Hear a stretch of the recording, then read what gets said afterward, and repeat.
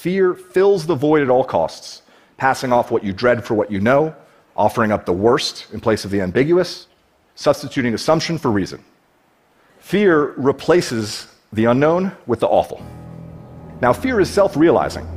When you face the greatest need to look outside yourself and think critically, fear beats a retreat deep inside your mind, shrinking and distorting your view, drowning your capacity for critical thought with a flood of disruptive emotions. When you face a compelling opportunity to take action, fear lulls you into inaction, enticing you to passively watch its prophecies fulfill themselves. How do you live your life eyes wide open? It is a learned discipline. It can be taught. It can be practiced. I'll summarize very briefly. Hold yourself accountable for every moment, every thought, every detail. See beyond your fears, recognize your assumptions, harness your internal strength, silence your internal critic, correct your misconceptions about luck and about success, accept your strengths and your weaknesses and understand the difference. Open your hearts to your bountiful blessings. Your fears, your critics, your heroes, your villains, they are your excuses, rationalizations, shortcuts, justifications, your surrender. They are fictions you perceive as reality. Choose to see through them, choose to let them go. You are the creator of your reality. With that empowerment comes complete responsibility. I chose to step out of fear's tunnel into terrain uncharted and undefined. I chose to build there a blessed life. Those were the words of Isaac Lidsky, whom I saw recently in a speech in magical Austin, Texas, during an event that also had me see Matthew McConaughey and Willie Nelson. Yeehaw! Thought I'd share with you as we destroy our villains and heroes here. Fill the unknown not with fear, but with gnosis, that direct knowledge or acquaintance with the unknown. Alright, alright, alright. Oh, Christ. Welcome to Aeon Byte Gnostic Radio, broadcast at the virtual Alexandria, that state of mind where East meets West, always through the God above God Dad Cam. This is where the falling angel meets the rising ape.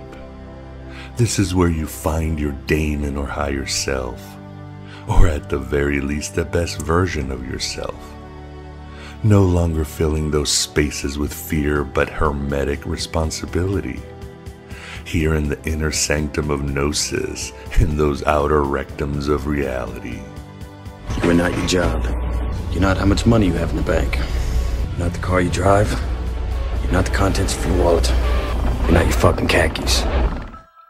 I'm so glad you've joined me on this dark odyssey through the gnashing rocks of orthodoxy, all the way to the farther shores of imagination. Like the Gospel of Philip says, the gods should worship us, and like the Apocalypse of Adam says, we are higher than the gods. At least we're more creative, logical, and empathic. As seen by the state of this universe and the world where the butt slaves of the gods, the elite, further ruin anything kind and good in all sentient life. So much fear in our social media news feeds, thanks to them. Too many heroes and villains. Choice is an illusion created between those with power and those without. I am and I am Abraxas, that terrible god above god as the ancients knew him. I come to you in my falling angel, rising ape incarnation of Miguel Conner, broadcasting from the lawful but frigid dystopia of Chicago, patiently waiting for the beginning of the world. I am your Pompatus of Gnosis, your humble midwife of contraband truths and impossible secrets. Well, I've wrestled with reality for 35 years, Doctor, and I'm happy to state I finally won out over it. Let's transform this material existence together, this cosmic existential morass that is one big fake news, Moloch machine, Pizzagate factory, and just a tasteless, boring reality. There's probably no meaning to life, but we will paint so much meaning on the canvas of a colorless cosmos and inspire so many dormant divine sparks to sparkle within sleeping human beings and even animals, and falling angels and rising apes. I've quoted this before, but it's so important as it encapsulates the ethos of the show and the Philosopher's Stone for your liberation. It's from the Gnostic New Age by April DeConick. It goes Gnostic movements are not about civic or familial duty. They are not a contest in appeasement or a placation of a god to be feared. They are not premised on attempts to secure God's favorable judgment and recognition in order to procure a better life here or hereafter. They are about the renewal of the human as God and the wielding of this personal power to forge a better life in the here and now and forever.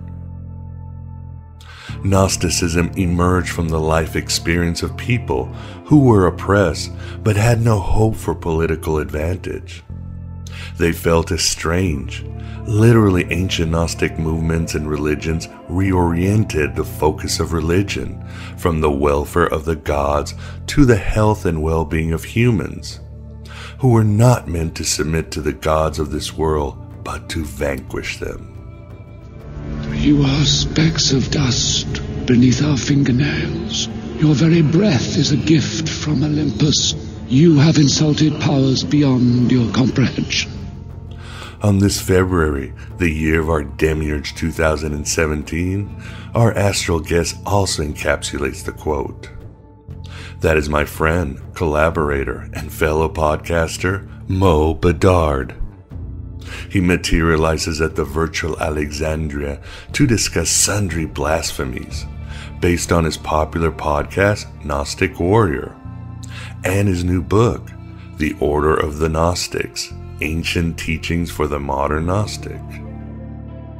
I've been on Moe's show before, and now the infernal tables are turned for a puissant, intriguing discussion on surviving and thriving in this Westworld we call civilization. For more information on Moe, please visit, you got it, GnosticWarrior.com. This is where we hold them! This is where we fight! This is where they die! As some of you may know or experience, we recently switched podcast providers, while at the same time having to trim some of our shows on iTunes and even YouTube. Aeon Byte is just getting that popular.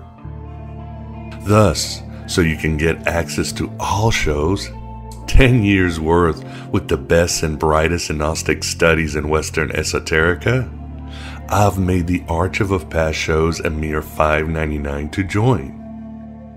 That's it, no contract or minimum payment. But please consider this as also a way to support this red pill cafeteria that depends solely on your support. Beyond that, please support Aeon Byte Gnostic Radio a few shekels here and there, perhaps via PayPal or Patreon, where you pay only if I produce. And so if you pledge a dollar a show, it might cost you about, I don't know, four or five a month. And that's the usual amount of content I create every lunar cycle. You can also go to our Amazon wish list at thegodabovegod.com buy any of the books listed there and through there, and I get a kickback. For example, clicking the graphic or link to other voices of Gnosticism at the homepage. Even if you don't buy those books and then buy something else, taking the book out of your cart, I still get a kickback. Consider the godabovegod.com as your Amazon portal. I do have an Amazon wish list as I'm always looking for new equipment to get by.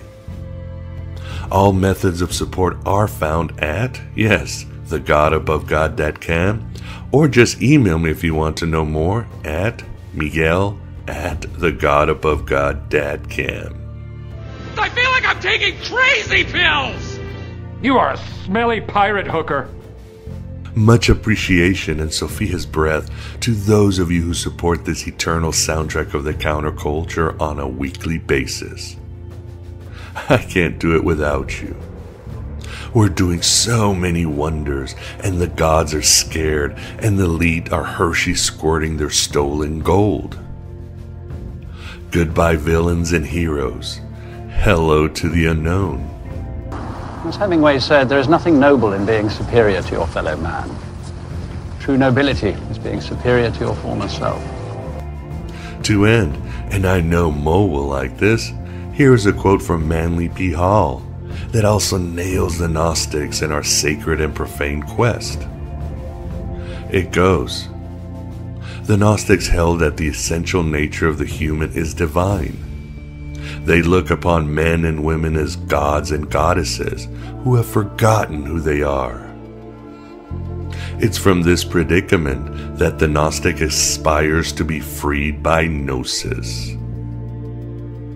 In other words, we're writing our own gospel and living our own myth, and filling the unknown with so much hermetic responsibility and meaning. Oh, and actually, to truly end, here is a passage from Mark Twain's very Gnostic, The Mysterious Stranger, which I highly recommend to everyone.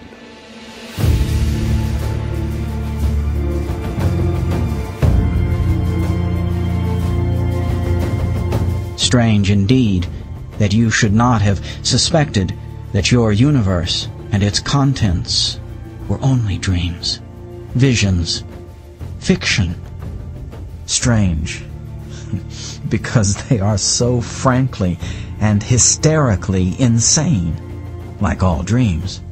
A God who could make good children as easily as bad, yet preferred to make bad ones, who could have made every one of them happy, yet never made a single happy one, who made them prize their bitter life, yet stingingly cut it short, who gave his angels eternal happiness unearned, yet required his other children to earn it, who gave his angels painless lives, yet cursed his other children with biting miseries and maladies of mind and body, who mouths justice and invented hell, mouths mercy and invented hell, mouths golden rules and forgiveness multiplied by seventy times seven, and invented hell, who mouths morals to other people and has none himself, who frowns upon crimes,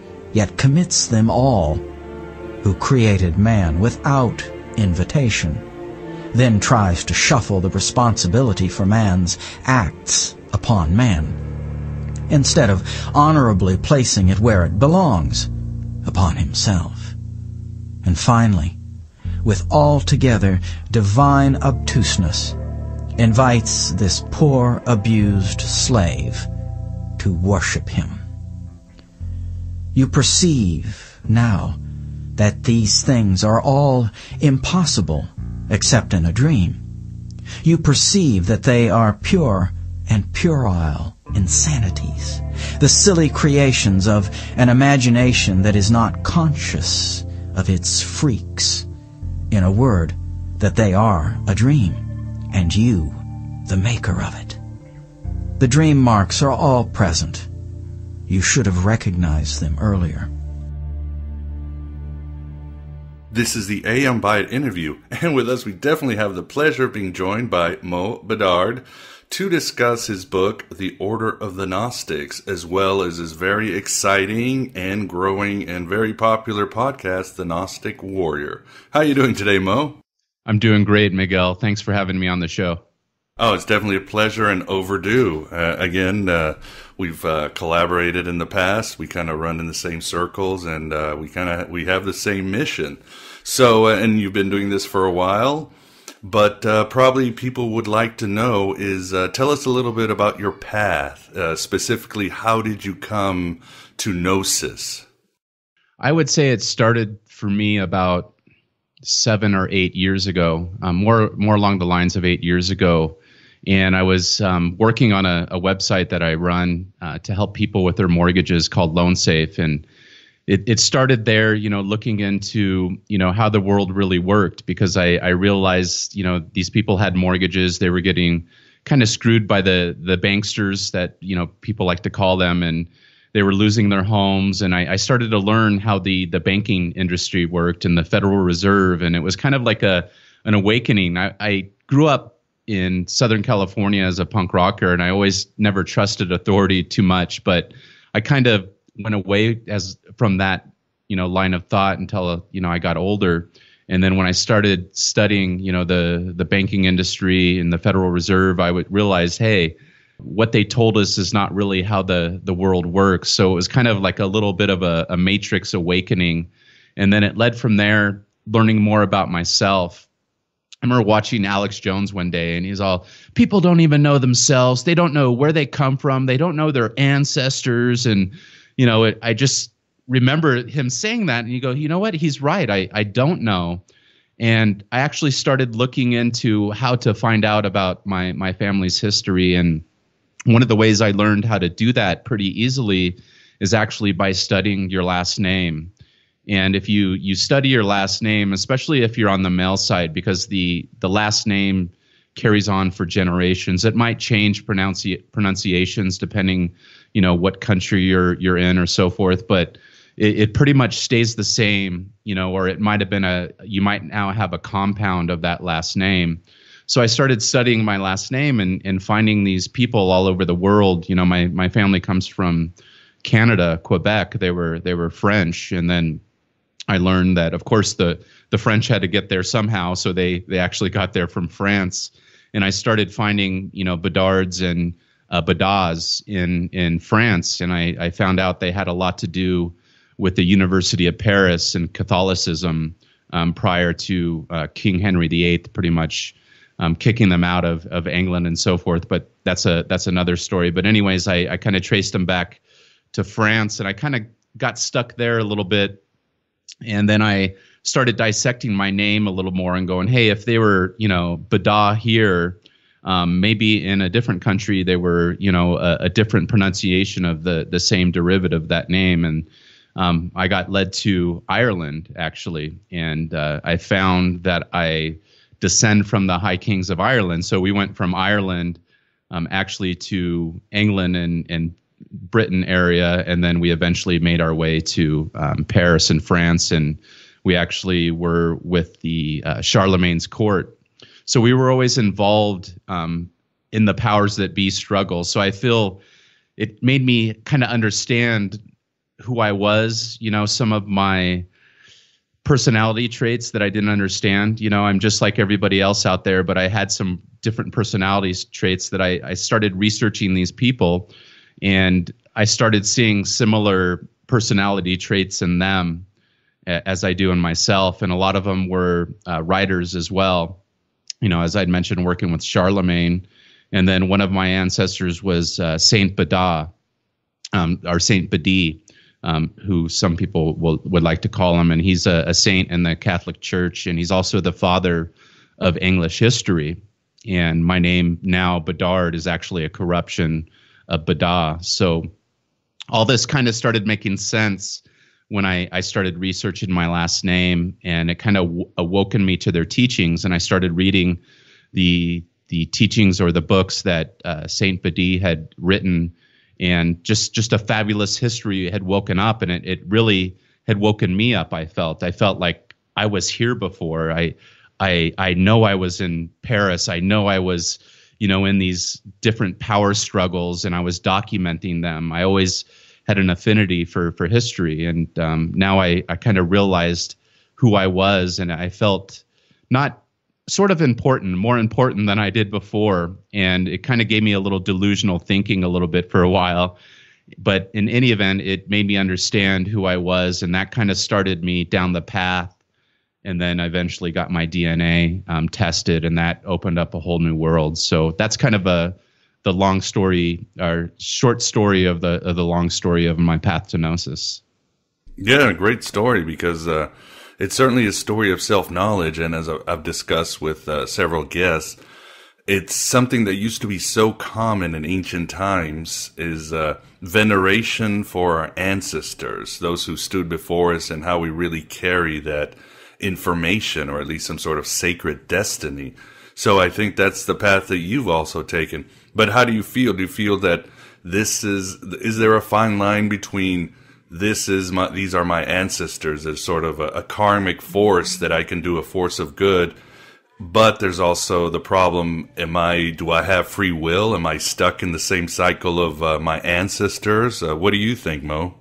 That's a question I've asked myself a lot, and it's a great question, and it's something I feel I, I struggle with at times, and I, I sometimes feel like I was given the baton by them to bring this history back of my family. So I, I believe that over the course of time, over the last you know 2,000, 3,000 years, what before we used to honor our ancestors and we used to document their histories and I think that has been lost over time with the advent of the Abraham Abrahamic religions and the the the power struggle between the different empires. You know, you had Rome struggling with Greco, the Greco-Egyptian Empire, and and I feel that this power struggle they had sought to wipe out the various tribes that were a threat to their power, and I feel a lot of us were in those tribes. And if we we go back over history all these tribes were essentially related meaning they were of one blood at that time and i feel mainly when the roman empire came especially they sought to kind of put everybody together i feel they couldn't conquer everybody so they decided hey let's just put everybody together and i feel that is what gave us the the Catholic religion. If we look at the Catholic religion, the word is Latin for universal, and the religion prior to that, or all the religions, I believe, were were all racial. So I believe that the Catholic religion was the first one where they honored people of different blood, of different DNA, we could say, that had did work and put in work, whether it's for the church or for the Roman Empire as an emperor. And we we see their stories and their persons honored by being saints and by being sanctified by the church you know so they they become legal saints for the work they had done. They perform some miracle so they're honored by the churches. So i believe all the religions prior to the catholicism were all based on on race and then the catholic religion was the first one. So over time, I feel they, you know, they destroyed various tribes and, and histories and books were part of that that destruction. People that would not agree to submit to Caesar, which I feel that's what happened actually with the Gnostics at that time and in Greece and Egypt, where you know those were the holdouts saying, "Hey, we're not going to worship Caesar. You know, he's not our empire. This is not our story." You know, and so I believe that's when they sought to just basically destroy them through first with propaganda, Irenaeus with the the books and you know the the writings right. against the Gnostics. So I believe that's kind of where it stopped. But we all worshipped, you know, our ancestors, and they still do to an extent. And I believe you know the royal class as well. They they worship their ancestors. So we could see that.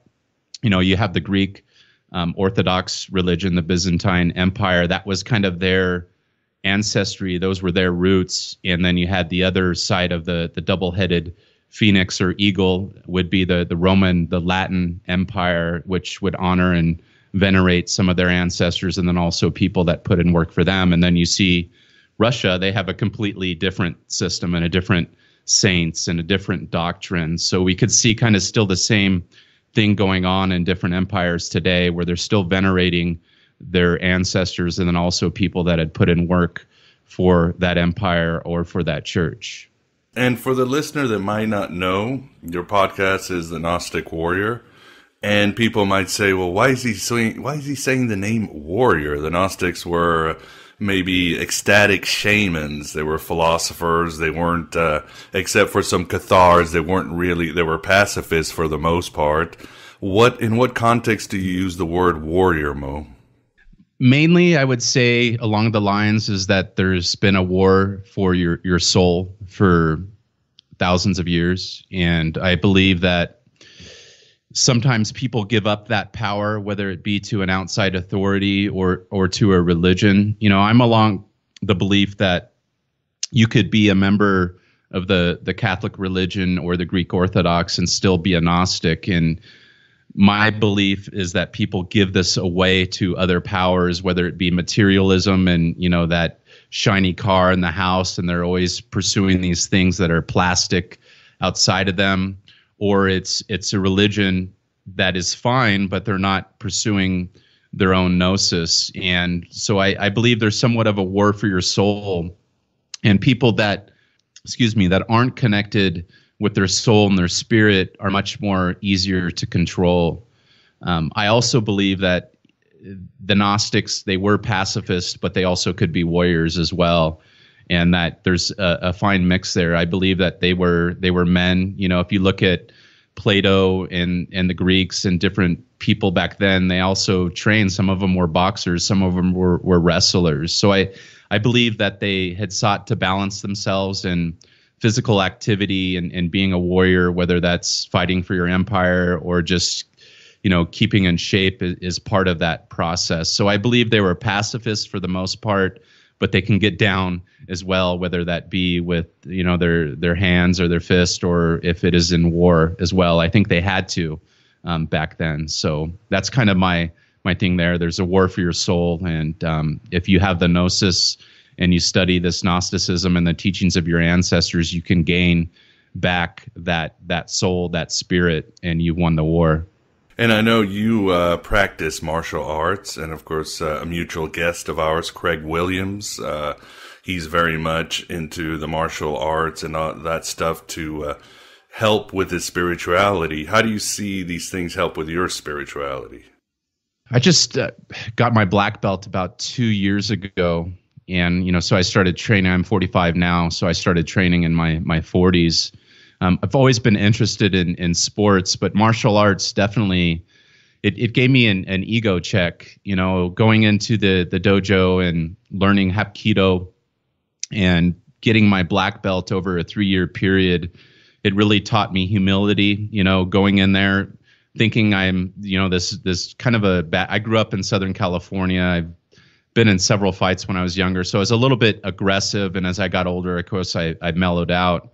Um, but I always thought like I was pretty tough, and then it actually humbled me to go in there and get my my butt served to me by several people that I thought I could, you know, easily take them, and they they really taught me, and it was this skill, and it just really it, it's it's a mental, psychological, and also a, a physical thing, and you've got to blend the two. You got to learn how to control your emotions, your temperaments, and so forth. And I, I believe that's part of Gnosticism as well. Is it's of course seeking gnosis, you know, that spiritual knowledge or this these ancient teachings of your ancestors or just the Gnostics in general. But it's also controlling yourself and controlling your appetite. So I believe, you know, some of the stories that we we read, which I believe, such as the, you know, in the Bible, are actually kind of Gnostic stories of Jesus, you know, and and taking the higher road, you know, turning the other cheek and so forth. I'm more along the lines you you slap me in the cheek, I'm gonna, you know, right hook you and get you in a rear naked chokehold. But so you know, I believe that, you know, it helped me kind of control my temperaments, humble myself and, and my ego. So uh, if you have issues with that, it definitely it, it helps a lot, and it actually has mellowed me. And then I know I can handle myself. You know, if if someone you know doesn't have a gun or anything and they're they're trying to assault me or or my family, I could easily defend myself. So it gives you self confidence as well, which I feel is important on the path. So that's kind of the the main reason I got into martial arts and then getting my black belt and going through the whole process. I believe only 10% of the people that join martial arts actually go on to get their black belt. So it was nice to kind of finish that and know that I could do it. Um, but it was painful, it was hard, but it was well worth it. Yeah, congratulations. My 25 year old son, he also just got his black belt. Um, so it was, uh, I know he worked really hard for it, and I know it's definitely helped his life. So, But awesome. Moe, thank you. Yeah, oh yeah. Congrats, congratulations welcome. to your son. thank you. Thank you. Very proud of him. So Moe, let's talk about more than anybody, and you can find some of this research in your book, The Order of the Gnostics, Ancient Teachings for the Modern Gnostic, is the idea of DNA. I don't know anybody who's done as much research as you have. And I've read your work, unfortunately, as we've discussed, when it comes to science, I just go cross-eyed. I go, blah, blah, blah, blah, blah. You know, give me philosophy or something like that every day. So tell us a little bit about your research on DNA and how it can help somebody with their own, again, finding who they are and their purpose in this modern day. I think it comes back to my wanting to know, my my desire to know things. You know, if you you look at the word gnosis, it, it essentially is knowledge of spiritual mysteries. Um, from the Greek word gnostikos, um, cognitive or intellectual. It's just kind of trying to figure out exactly what is this process of gnosis? What are people feeling? You know, Plato had said all learning is remembering. And you start seeing this common thread from philosophers talking about blood and the spirit and and gnosis and knowledge and the soul is in the heart. And you know i, I see all these teachings and I, i'm like what do they really mean by this? You know so what i wanted to do with my book and then for myself mainly was like put science to some of these teachings which you know i'm attempting to do with with a book or i hope i have done is to find out where does this gnosis come from what does plato mean when he says all learning is remembering. So it you know when I see these you know teachings on blood and uh, I, it started bringing me to DNA. I was like, you know, DNA is what we're made of. It's it's what you know every living creature is made of. They have a specific DNA, and we're all different. And could possibly this be the missing code between all of us, but also the linking code that links us all? But if we all have different DNA, we all have different gnosis. So that led me to studying DNA and, and gnosis, and I started coming uh, to all this research on you know DNA being like a computer. So I, w- I want to say a couple of quotes here. Here's um, Spencer Wells. Spencer Wells is a DNA geneticist. He was in charge of the Genome Project, and that was when they went around the world, I believe, for like three three to five years uh, Spencer Wells and a team, and they were testing, you know, various people all around the world, tribes, and so forth. And you know that started the Genome Project, and that's kind of how we know about all these DNA haplogroup maps and so forth, and how kind of humanity has migrated over time from Africa to various parts of, of the world. And he had said, Your blood contains DNA, which is like a history book. And then that led me to Carl Jung, who had said, who has fully realized the history is not contained in thick books, but lives in our very blood.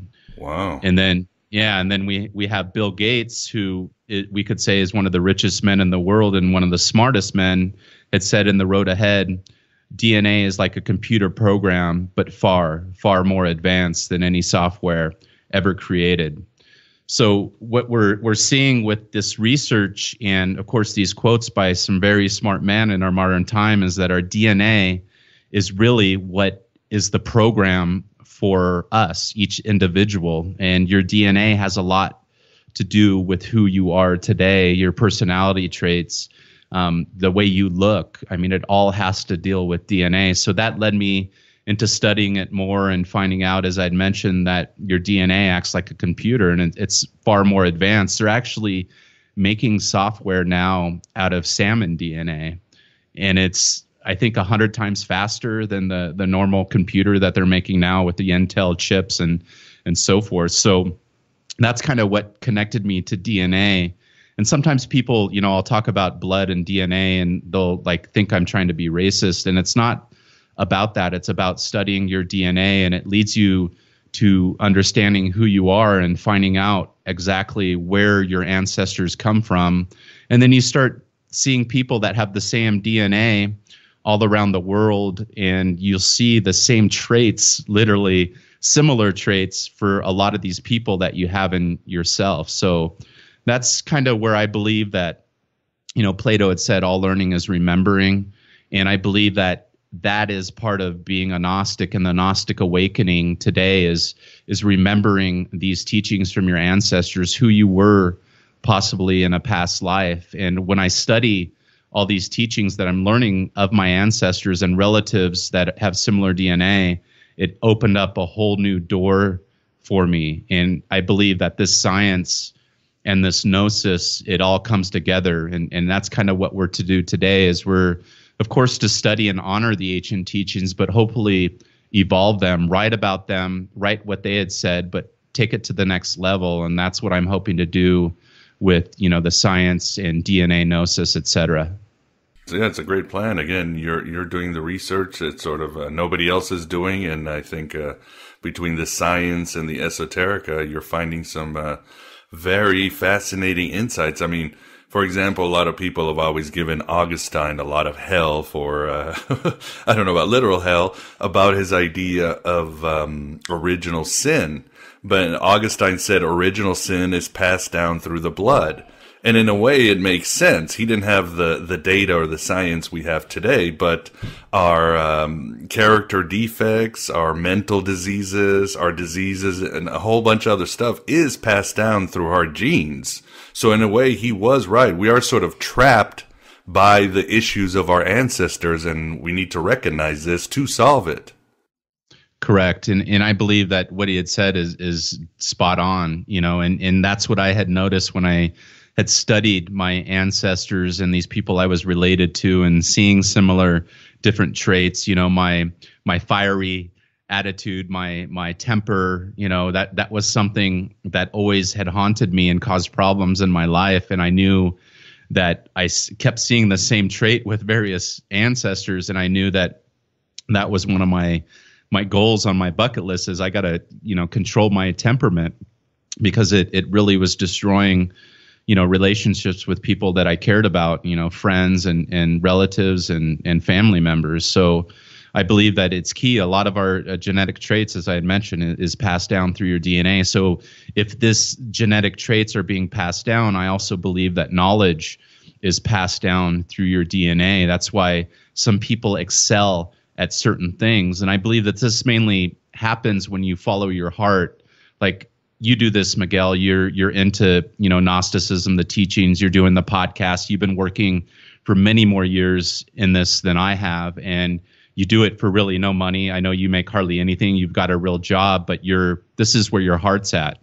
If you didn't have to work in marketing and you know have that normal nine to five job, and you could actually make a living to support your family doing your radio show and writing I bet that's what you would do because that's where your your heart is. So you're following the Gnostic path. You know, it doesn't always lead to to money and riches, but it's what makes us happy. And I believe, you know, for musical geniuses, you know, uh, sports geniuses, those are people that were probably that in a previous life, and they're just kind of carrying that baton in this new life. They're following their heart. They're following what they want to do and they make a go out of it. And some you know make a lot of money or they're they're really famous at doing that. And some of us are just like to be writers and talk about knowledge and philosophy you know a word that means just the love of wisdom you know. So i believe when you follow your heart you you follow your gnosis you follow your path and if you're you're honorable to that you're honorable to your ancestors to yourself and you could sleep at night and, and be happy even if you don't have a whole lot of money Agreed. And like I always like to say, it's not gnosis unless you give it away. So what we do in a way gives us insights into the world and uh, brings us, as you said, wisdom. But uh, obviously, it's not an easy path and it's not meant to be an easy path. And Moe, you've been talking about um, DNA and ancestors, but you also write in your book about reincarnation. How do you, what you might say, um, uh, mix the two together or find a way where DNA and reincarnation, or what, what are your views on reincarnation? My views on reincarnation are that we do reincarnate, and I believe that it happens along the same bloodline. I'm not exactly sure 100% of course how that happens but i do believe that is what happens and then i found a correlation in my studies when studying reincarnation and, and remember that many ancient cultures had believed in reincarnation. The Greeks. Um, we could say, you know, the Jews. I believe that, you know, the various Gnostic sects at that time right. had believed in reincarnation. The Druids had believed in reincarnation. The Druses, who we could say are a Gnostic sect, sect believe in reincarnation. And what I found is a, a common theme of, again, the blood and the soul, but also various marks. And this led me to, to birthmarks, which I found are actually race marks. So people that are of a similar race will have similar marks, which we call birthmarks today. And back then, they used to document these in in their writings uh, as far as their marks. And I believe that in the Bible, it's called the the mark of Cain. So, you know, all these various famous people are documented in history when their stories are written about they you know we don't have pictures of all of them or you know direct descriptions of how they look to a T but the common thread that I have read in reading these writings even in the Bible as I'd mentioned the mark of Cain is this mark this birthmark. Pythagoras had a birthmark. Judas had a birthmark. Uh, Augustus Caesar had several birthmarks. Sir Lancelot you know in the myth the mythical part of it had a birthmark. King Arthur had a birthmark. Muhammad had a birth, birthmark. Uh, the Merovingian kings were said to have a, a birthmark. Um, you taught you read Pluto or not Pluto, Plato, excuse me, and Plutarch. I kind of mixed the the names right there. They talk about men of the aristocracy having certain birthmarks, and people weren't allowed in their brotherhood unless they have that certain mark. So I believe back then they had used this mark to identify their kin or their ancestors, their cousins, etc., and they didn't have DNA or other ways to identify certain people. And as we had mentioned earlier, it was religions were ancestral. So I believe some of the first brotherhoods were kind of based on that, on um, relations of people that were related to them. So I, I believe that we are reincarnated. That's part of you know waking up to who you are I haven't, you know, there's people that I've talked to on my podcast and, you know, are experts in reincarnation. They've written books on it. Talked to a Navy SEAL. Uh, he was the, actually a chief of the the Navy, 24 years, probably one of the highest um, decorated Navy people that I I could think of. Um, he wrote The Awakening of a Warrior and then Navy or Past Lives Remembered, and he documents all the different lives he has lived. And if you look at most of all those lives, they're all warriors and or warrior kings. And here he is in this life. You know, the SEALs are some of the most highly trained, hardest training you're you're ever going to get. You know, only a certain percentage of people will ever pass it. Most people fail, and you have to be a badass warrior to do that. So I believe that these SEALs are actually following their gnosis of being warriors, of being Spartan warriors, of being Roman gladiators or whatever you might have you. And they're just kind of continuing that. And that's why they excel at warfare and at testing their bodies and, and so forth. So I believe when you you kind of awaken to who you are, you could maybe study these past lives. And I know there's experts out there that will do what they call past life regression and and stuff like that. I've never done it myself, so I don't know for sure who I was in a past life one of my connections that I'm connected to would be uh, Saint Bedi, who I had mentioned earlier. I don't know for sure, but I, I, I have seen myself in dreams being in those locations, etc. And then I also have a, a, a, white birthmark on my thigh, which Pythagoras was said to have a white birthmark on his thigh. Um, Apollo, all these you know different gods and so forth. So in my studies in my ancestry of DNA my DNA is in every place that these people have been in, uh, Pythagoras and, and Plato and, and Plutarch, etc. So I believe that there's a connection there with birthmarks, which I can call race marks, and then also past lives, etc. So that's kind of uh, my belief in a nutshell. I just don't, I can't prove it without a shadow of a doubt with with science, but there is science there. And there was a a Dr. Ian Stevenson, Stevenson, who in 1997 had written a book on reincarnation, and he had found that 35% of the people that he had studied that claimed to have past life recall um, claims of reincarnation had special birthmarks or marks where these wounds when they died from a past life were. So he would actually, you know, talk to someone who was shot or was stabbed who claims this in this life. He didn't, you know, bring these stories to their attention. They were the ones that had said that. And then when he would study the past lives that they claimed who they were, he would find literally this person was stabbed in the chest, and this person saying he was this person had a birthmark or a mark in that exact same spot where that person was killed. Wow. And uh, you mentioned dreams. I'm sure you advocate listen to your dreams, see your dreams, because that goes right to the source. That's a, a, a font of answers. Yes, I, I believe that when we dream, we're being told things sometimes, and whether that's you know you're you're going down the wrong path or you're going down the right path.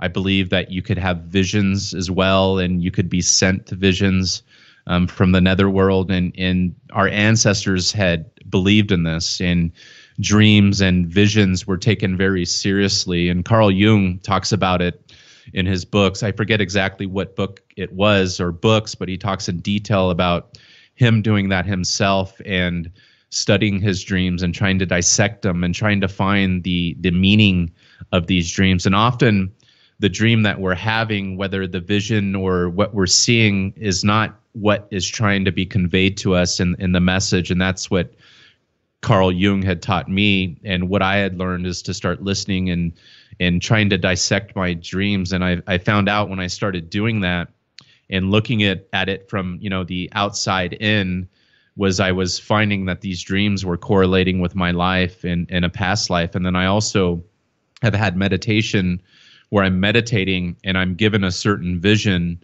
or a certain word. And I would then literally go on my computer, Google it, and I would find some type of connection to, as I had mentioned, my ancestors, DNA, etc., with that specific symbol or or that vision or that teaching, and it would literally catapult me in, you know, way ahead on my path over various stepping stones in my learning and and so forth. So I, I learned to listen to my dreams and try to dissect them to understand, you know, what is trying to be conveyed to me, and then also any visions I have um, through meditation, etc. And they've all proven to be um, things that were conveyed to me somehow, and I don't know where they come from. I don't know if it's some type of DNA thing, as I'd mentioned earlier with the DNA gnosis that our, you know, our DNA, our blood is like a computer program and sometimes maybe these visions and everything might be coming from our blood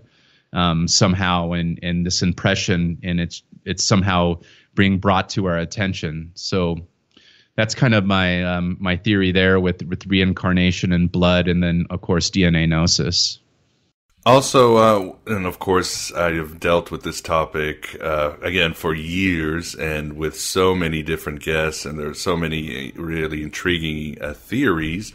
But uh, it, uh, again, like DNA, your research is very unique. It's taking you to some uh, some very interesting places. Tell us, as, in your research, tell us about the origins of the Gnostics. Well, my research into the Gnostics, you know, we, we don't have many of their their writings, as you know, Miguel. A lot of them were destroyed uh, by the church and various empires over time. Maybe some were lost. Uh, we we have what the the church fathers had written back then, Irenaeus and other church fathers, and they were always battling someone. And we, when we look who they were battling, it was normally someone in the Greco-Egyptian Empire area. And I believe at that time the Gnostics were centered in that area. And where I've been come to, where my gnosis has led me, where I believe my intuition intuition has led me, is to the the island of Crete. And Crete, I had found I'm really drawn to intuitively. Okay, so I, I want to backtrack a little bit. I, I'd said about visions and so forth. I had a vision about eight years ago, and actually almost like a, a communication that said, "You, we started the Brotherhood." It was literally like we started the brotherhood. I I don't know if it was God or or something, but I was driving, and I just didn't know where it came from. We started the brotherhood, and and at the time I didn't even study Gnosticism. I didn't even know what a Gnostic was, and that led me of course, that was right about after I had talked about Alex Jones and then me researching my last name and then getting this communication. We started the Brotherhood.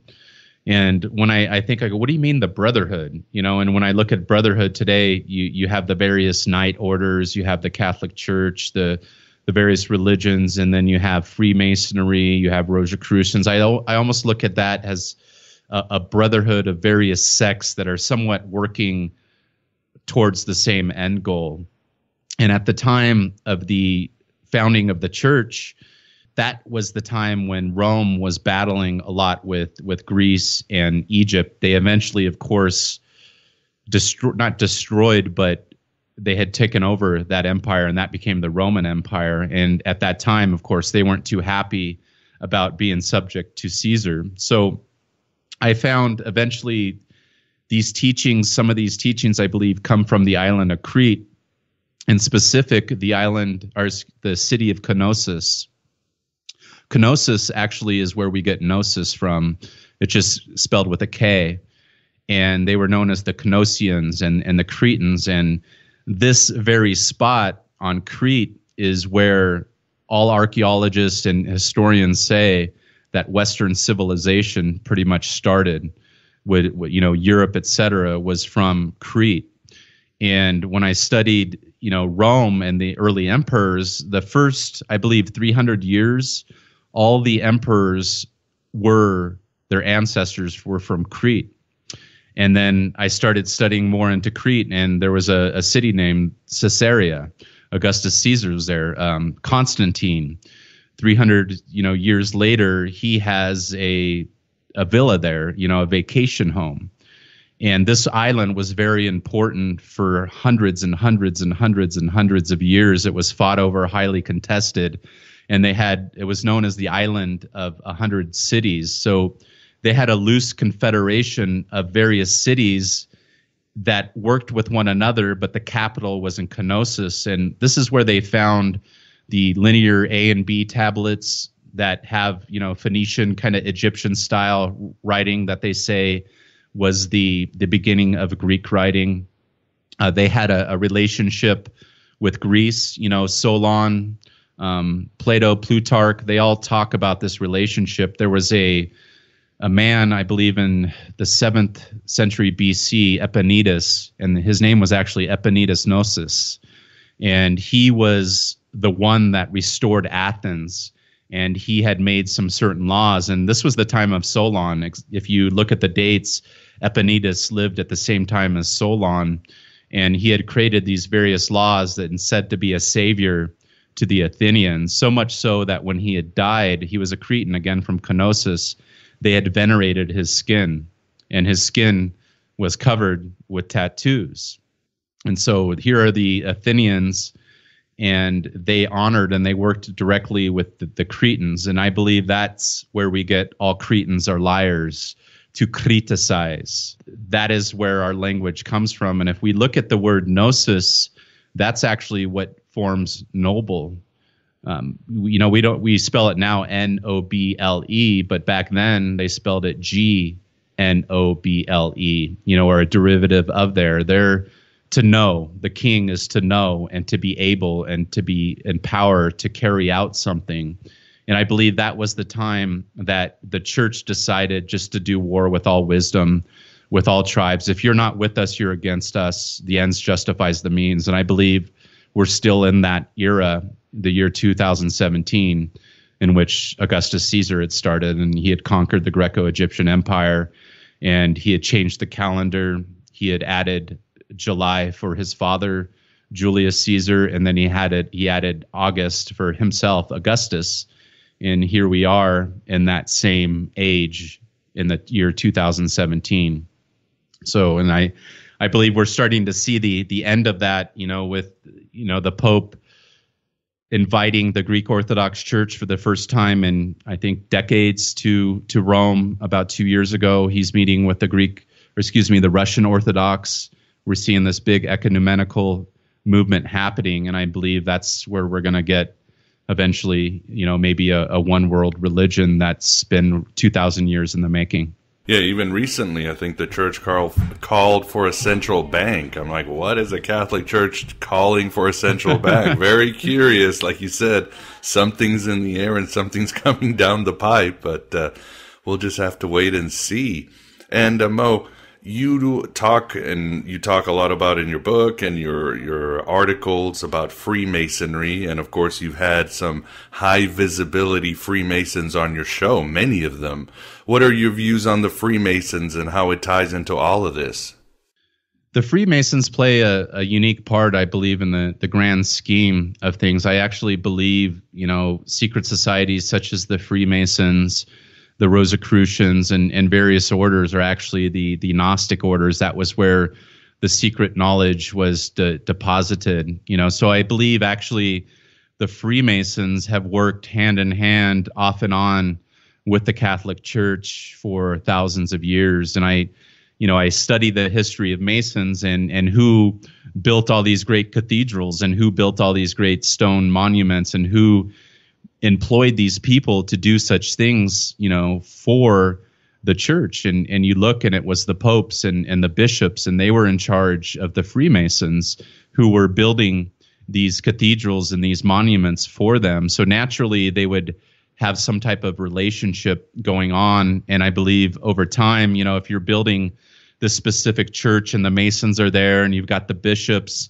et cetera, working, you know, hand in hand. And sometimes, you know, I'm sure it took years to build some of these structures that they would have to develop some type of system to work with one another. So the, the Freemasons were the first freemen who were given the freedom to travel over county lines, over state lines by the church, who the Pope in these territories and the bishops were essentially the lawmen and they would give these freemen, these Freemasons, a certain badge where they could travel, etc., to, of course, build these buildings. And I believe over time, it, it developed, of course, at first as operative Freemasonry, and these Freemasons, I'm sure, had learned some secrets.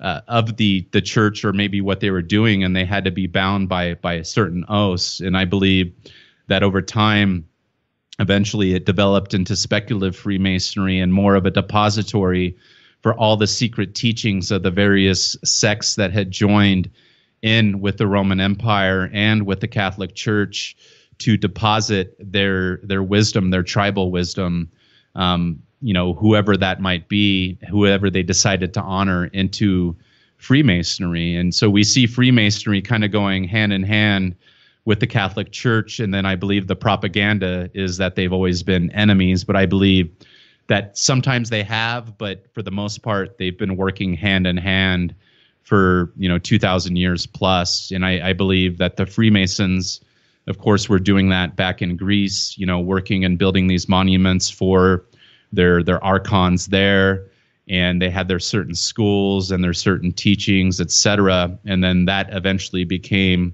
more of a philosophical thing where the teachings would be kept and you see all these philosophers and you know you look at uh, albert pike and Eliphas Levi they had said the g in freemasonry that you see in most of the lodges etc and it's usually framed with the the compass actually means gnosis. And manly p. Hall had said that the the gnostic symbols of a thousand ages have been um, basically incorporated into the the Freemason teachings, and they often talk about Freemasonry, Albert Pike, Manly P. Hall, saying that it's actually a, a religion. So I believe that it's worked hand in hand together. I believe some of the most powerful people that are really in the know are powerful Freemasons from royal families, where the the lower people in the school, if they haven't done their their studies, they're not going to know this history. But I, I've traced them all over the world. They're still very active, very powerful. They're in Washington. They helped build Washington, D.C., the founders of the country here in the United States were all Freemasons, bro Washington, bro Jefferson, you know. So um, right. they were definitely in. And then you see the Catholic Church, you know, also in the inception of the United States and being involved in setting up all the universities and, you know, Maryland, that was named by the Catholics, and Virginia, another name that we could say is for for Mary. And so I, I believe they work hand in hand, and it's been an ecumenical movement for for many centuries. And why don't we talk about, uh, and of course, this is in your book, and for the listener, there's a lot more about what Moe has been talking about in his book, The Order of the Gnostics, so check it out. But tell us a little bit about a mutual favorite god of ours, Abraxas, which I'd love to hear other people's views. Tell us what you found about this uh, terrible god above God. Well, I believe Abraxas eventually developed into who we might call the the devil in the church, and so the the, the teachings of Abraxas, I believe, to be similar to that of Yaldabaoth, or or however you might want to pronounce it. Um, so you you have various early church fathers, you know, such as Irenaeus um, and others, say that basically he was the God, the greatest God, the highest God, the Almighty God, the Lord, the Creator, and so you see this, and then you see the symbology of Abraxas, and he's always, you know, uh, serpent legs, a cock head. He's carrying, you know, um, a shield and so forth. But you always see this serpent like thing. And I, I, believe that the serpent, or in my studies, it, I, I know it for a fact, actually used to read worm. So when we we read serpent, my understanding is that the Latin writers looking to corrupt these teachings to carry out their mission of world domination, of course, would be to corrupt some of these teachings. So the profane might see, and again, the word profane simply means uninitiated and the profane would see a serpent and they would just think serpent but they wouldn't think about worm and, and possibly how we were created. So i believe that the abraxas is actually the creator of the world. So that would go along the lines of the teachings of the church fathers calling him the god the almighty god but i believe he is the god of this earth. And if you look at humans how we're created we're essentially it, under the microscope, it, it's just like a little worm, you know, with the sperm. And I believe all this is is connected. Hermes, Hermes is just another word for wormies or worm. And Jesus in the Bible, he says, "I'm a worm." You know, I'm trampled upon. I'm I'm scorned upon. Job talks about being a worm, etc. So I believe these teachings were again their way to identify the creator of who we come from, where we come from, and where we descend from. And I believe not essentially, you know, the the the earthworm, but we descend from a certain type of worm, parasite that came, you know, maybe out of the ocean and and brought us to who we were and who we are today. And we all descend from this this this one creator who was our original ancestor of all of us and we're all you know different offshoots of that same tree you know different branches or whatever but that abraxas is our creator and he's also known as the destroyer. So if we look at as we we get older and we die we actually get eaten up um, by these very worms and parasites that are infesting our body. You know they say that the dna of the human and the body if you want to measure it it's only as big as our toe. Wow. okay so yeah so 99% of our DNA is consisting of other organisms in our body, Miguel and, and listeners. So this this makes Ooh. you you wonder. So uh, in my studies, I found the average person living today has eight different parasite organisms that are inside their body, and we're all coexisting. And then on top of that, we have billions of bacteria and, and fungi, and we're all kind of coexisting with one another. And I believe out of all of these different organisms, there's one in there. I, I, I have a feeling of what organism this is, but I haven't, again, tied it all the way to science that is actually who we come from. And I believe that there's a battle that happens between these organisms and, and so forth. And our job is to, of course, coexist with them and then live the best we can to keep this this this system in balance these organisms from going off of balance because that's when they go off balance when we don't live right you know when we don't control our temperaments and our bodies heat up it creates gases it, it creates our very alchemical energies to become off balance and that also happens to make our organisms and our bodies become unbalanced and that's why people will get various diseases and they'll die sooner etc. And when you look at how people die we're actually pretty much eaten up from the insides out by these different organisms. That's how we decompose. And then our very essence goes into the soil. And I've studied this pretty pretty thoroughly and I was like what what is our essence? What is left of us when we die? If we do reincarnate back into this world, what is this essence? And I found the only thing left of us, the only alchemical energy left of us is a worm in its belly containing phosphorus that then goes into the soil and then it recycles back into nature. And then who we are is is built upon this this this phosphorus. And phosphorus in latin means lucifer so you start seeing these these different connections between these teachings and i believe that's of course horus. You know horus is the son of god. He's the son of osiris in egypt. In in greece you have zeus and the son of Zeus is Prometheus, and that's where we get the story of Lucifer, and he stole the the fire from the gods, and he wanted to teach mankind the wisdom of the gods, and they just right. struck him down, and so you see these these common teachings and so forth, and you know I believe that the phosphorus is the philosopher's stone, and if you study phosphorus, that's actually what makes our DNA fire and I believe has a lot to do with with our life and how we become enlightened etc. So that's kind of it in a nutshell. Truly fascinating, and uh, yeah, down the rabbit hole we will continue. and uh, this topic is uh, very personal to you, but uh, as I read your work on this topic, I feel it's something very important to bring up. Uh, would you tell the listener, Moe, about the the threat that is something that we sort of take for granted or ignore in this world, and that is mold? Yeah, so mold is something that I had found out about just recently. My my son, as you know, Miguel, about two years or a year and a half ago, uh, he had gotten sick in a house that we were renting and leasing in in Carlsbad, California. It's a little nice beachside town in San Diego, California, and we lived there for five years. Beautiful house, ocean view.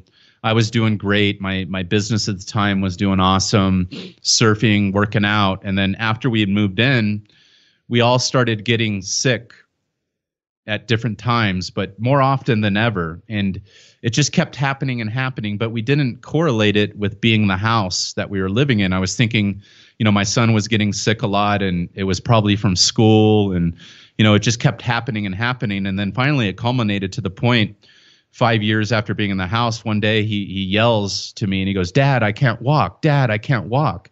And I'm like, what do you mean you can't walk? And he goes, I can't walk, dad. I just can't. And he just, he couldn't walk. And I didn't know what was going on. And then that slowly went away. And then one day we were walking down a trail and he literally falls on the ground in pain, you know, screaming. And I thought like he got bit by a, a snake or something because we were walking on a, a nature trail. And he goes, Dad, it's the same thing. I, I just fell, I this pain, and I literally had to call uh, carry him like three miles because he couldn't walk. And anyways, um, we we ended up going to the doctors, several doctors, trying to find out what was wrong with him, and they were claiming it was a sports injury. But I was like, "How's he woke up and this happened? He he was literally walking two miles an hour and he fell. You know, he didn't twist it, nothing, and." This pain actually didn't go away this this last time, um, and he couldn't walk for several months. And we took him to the orthopedics. Anyways, no one could figure out what was going on. So my search to know what was going on with my son led me to the internet. And then I started reading people that had similar symptoms and side effects that have been exposed to toxic mold. And then I remember seeing toxic mold in my or mold in my house like mildew and little spots and we had several water leaks that were stopped but never taken care of and i would read about this and talking about water damage and then i eventually decided to get a, a mold test and i found out that our house had severely high levels of mold. The the owner of the company goes, Moe, if you were my friend and, and I even you know you're not my friend, I tell you move out right away. It's the, one of the worst houses I've seen in the history of running my my business for 30 years. So that kind of led me down the path of of studying toxic mold and understanding that there's a lot of hidden mold issues and illnesses that are caused by mold. Mold can cause cancer uh, aflatoxins from the mold aspergillus that's found in common food. 25% of our food has mold in it that the FDA allows. And these carcinogens these mold aflatoxins cause cancer and cause other ailments. And I see the same ailments in a lot of people that are suffering today, but they don't know why they're suffering. And then in studying my ancestors, as I had mentioned earlier, and you know, uh, DNA is is pretty important to me, and I've traced my DNA to the, the biblical Levites. And one of the Levites, of course, is Moses and Aaron. They're some of the most famous who are said to have started that tribe. And guess what? They were mold inspectors. Moses was a mold inspector. Aaron, wow. the, the pre, yeah, so they were in charge of of finding mold in their their communities and their tribes, and it talks about it. I don't know it verbatim off the top of my head, but it talks about it in the Bible of them, you know, having to find mold, and if they find mold, they're supposed to, you know, basically vacate the the premises, and if they come back seven days later and it's grown bigger, they got to tear down that building, all those stones, and they got to take it outside of the the the city and bury it, bury the rocks covered with mold, and what I learned in that studying is that many of the plagues in, in ancient times were actually caused by mold and by fungus. And you know, do you ever see the Pope or the in, in Catholic Church you have the priest and he has that little uh, stick with a ball and he does the holy water and he's kind of spraying it on people? Oh yeah, of course. That's called the aspergy. The aspergy comes from aspergillus, and that symbol of the Pope and the bishop when they're doing that is actually under a microscope looks exactly like an aspergillus spore to the T. Wow. Wow. So, Again, our ancestors knew a lot more than we give them credit, right? exactly. Exactly. And, you know, we can get into it further then, but that's kind of what led me to, to mold. And, and if you people out there, if I could leave you with something, if you're, you know, we spend literally 19 hours a day in our houses, some people less. You know, we're in buildings and offices. If you're suffering or your children from various illnesses, asthma, the Mayo Clinic says that literally all sinus infections and asthma is is is caused by mold and you don't know why you're sick.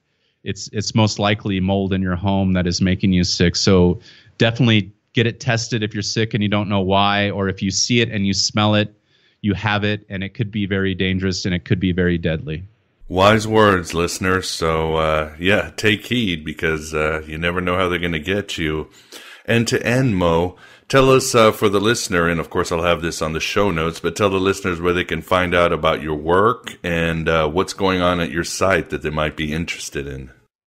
Sure. My my website is called gnosticwarrior.com and that's where I have all the the different articles that I've written. I host other people's articles on there. I have some of Miguel's that he had written uh, for me a couple years ago, uh, various podcasts, and and that's kind of the the central online place for the Order of the Gnostics. I'm building an online library of various podcasts and then also videos and articles.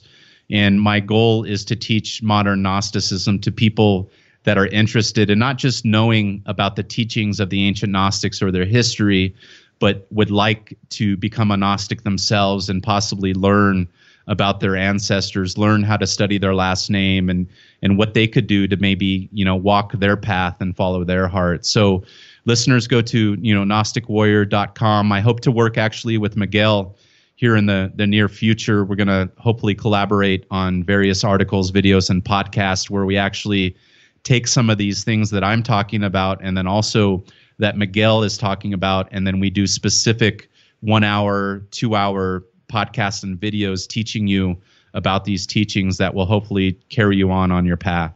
Indeed, and it should be a very dangerous, fun time. That's for sure. yes, it will. Who knows what will happen? But hopefully, we can uh, set fire to the world and uh, get some get some worms and phosphorus up from the ground uh, and see what happens. Hallelujah, but, hallelujah, brother. But I think that's all the time we have today, Moe. I'd like to thank you very much for coming on Aeon Byte and discussing your book, The Order of the Gnostics ancient teachings for the modern Gnostic, as well as your other ventures, which are uh, opening the eyes of humanity when it most needs it. You're welcome, Miguel. It's been an honor to be on the show, and thank you. Take care, bro.